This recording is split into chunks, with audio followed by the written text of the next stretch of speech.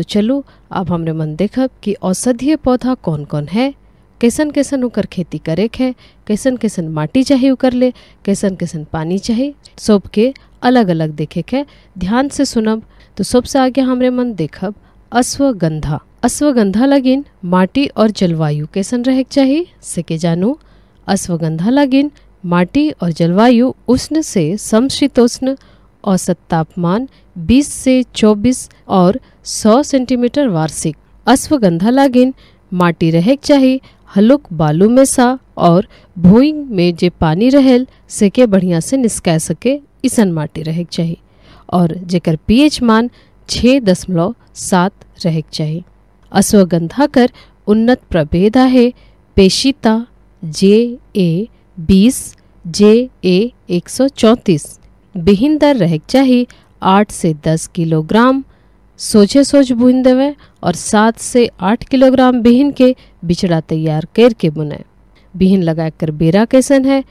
यदि रोरे मन नर्सरी में बुनत ही तो उके जून में बुन देक चाहिए और यदि खेत में रोपे के है तो उके अगस्त से सितंबर तक में रोप देक चाहिए लगा कर दूरी कितना रहे चाहिए दर और पौधा में दूरी कर अंतर रहे चाहिए साठ से पचास सेंटीमीटर। अब माइंद और उर्वरक कर भी प्रयोग करे है तो माइंद और उर्वरक में सड़ल गोबर कर माइंद के 15 से 20 टन प्रति हेक्टर दे देवें। बुनेक बेरा, नेत्रजन के 25 किलोग्राम, स्फूर के 30 किलोग्राम और पोटास के 30 किलो प्रति हेक्टर।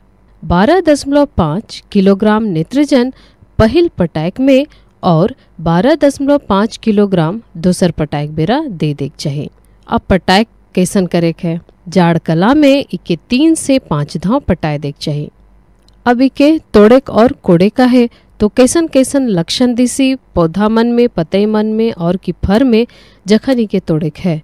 तो उके जानू, पौधा मनक पतई मन का रंग जखन पियर हो जाए और फर लाल होए लागे तखने पौधा मन के जैर से उखराए देक चाहिए जैर काट के उके सुखाए देवे। देखो भाई, हमरे कर आसे पासे जे दवाई वाला पौधा मन रहेल, उकर कौन कौन भाग दवाई ले प्रयोग करल जाएला से के जाने बहुत ज़रूरी आहे।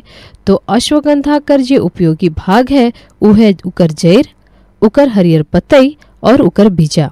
अब इकर से उपजा कतई भेटाई रोरे के। जैर, हरियर पतई से रोरे को उपज मिली छः से आठ क्विंटल और सूखल जैर और बीजा से रोरे के उपज भेटाई एक से दुई क्विंटल प्रति हेक्टर। इकर उपयोग कैसे करक है? कौन बीमारी में करक है? से के जानू। इकर उपयोग टॉनिक कर रूप में करल जायल और निंद्रा जेके नींद नहीं लागेल उ कर ले। रक्तचाप, मूर्छा या की चक्कर मूड़ी बथेक तंत्रिका विकास, हृदय रोग, रक्त कोलेस्ट्रॉल कम करेक में, गठिया के नाश करेक में छुआ मनकर सूखा रोग में, छह नाशक आहे ई कर दवाई, रोग प्रतिरोधक क्षमता के बढ़ायल, चर्म रोग, फेफड़ा मनक रोग, अल्सर और मंदाग्नि कर उपचार में और जोड़ कर जे सूजन रहेल या कि अस्थि क्षय कर उपचार में इकर प्रयोग बढ़िया होयल इकर अलावे कमर जे दर्द हो जायल उकरो में इकर प्रयोग करल जायल तो देखो भाई, अश्वगंधा कर प्रयोग बहुत सन बीमारी में, बहुत सन रोग में करल जाएला। तो इसन दवाई कर खेती काले नहीं करल जाए, रो रोहो करू और इकर जे जे भाग उपयोग करल जाएला, से से भाग के उपयोग करू बीमारी मन में।